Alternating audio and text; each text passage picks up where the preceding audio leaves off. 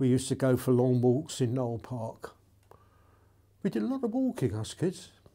Un- un- unbelievable. Those of us who could, we got taken out Knole Park, roaming over the hills and o- over the trees, all birch, all beech trees they were. Magnificent. The right time of year, the place was full of nuts. There were sweet chestnuts, and we used to get big bags of sweet chestnuts. And uh, walking up to the old house, Knole House, with all the, the horse chestnuts around it, and there were some ponds there where we used to catch newts and things like that, you know, and tadpoles. Lots of deer.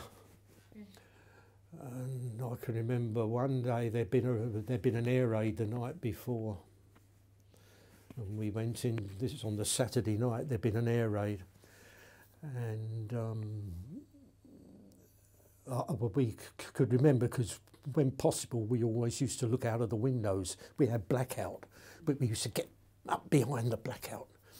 We weren't supposed to. Bloody dangerous actually. Although the windows were taped up, you know, the glass could have shattered us. And I remember one night we saw this great big white glow in the sky over Knole Park. And um, we went over in that direction the next day and we found there was a great field, like a big playing field. It was a big flat area, big grassed area. And it had taken a full load of incendiaries.